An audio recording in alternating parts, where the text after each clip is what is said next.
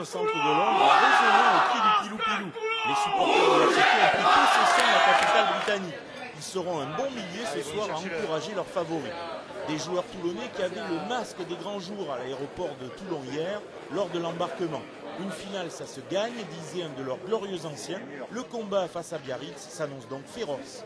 C'est une finale, donc euh, il faut la gagner. Et pour ça, il va, falloir être conquérant devant et avoir une très grosse défense. Voilà, du début à la fin. Maintenant, on y est, on languit de jouer euh, et on aimerait faire plaisir à tous les gens qui nous suivent et ramener la, la coupe. euh, samedi après-midi. Donc euh, on sait qu'il y a une grosse équipe de Biarritz, mais bon, on est prêt à relever le défi. Quoi. C'était 20 ans, on n'a pas gagné un titre, donc c'est nécessaire pour, pour donner tout demain soir.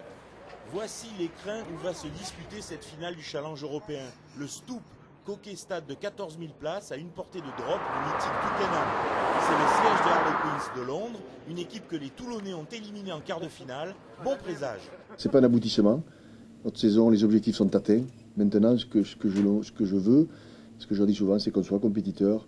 On ne joue pas des finales chaque année. Une saison, c'est court. Une carrière, c'est court. Et quand on a l'opportunité de, jouer ce genre de match, il faut les prendre avec euh, beaucoup d'enthousiasme, beaucoup de passion, beaucoup de détermination.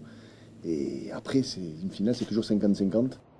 Johnny Wilkinson va mener l'attaque du RCT. Son duel de buteur avec Dimitri Yachvili sera l'une des clés du match.